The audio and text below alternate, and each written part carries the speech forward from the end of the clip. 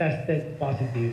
The two confirmed cases are the previously announced 38-year-old Chinese female and her companion, a 44-year-old Chinese male, who were both admitted for isolation and supportive treatment at the San Lazaro Hospital. The 44-year-old male died yesterday, February 1, 2020.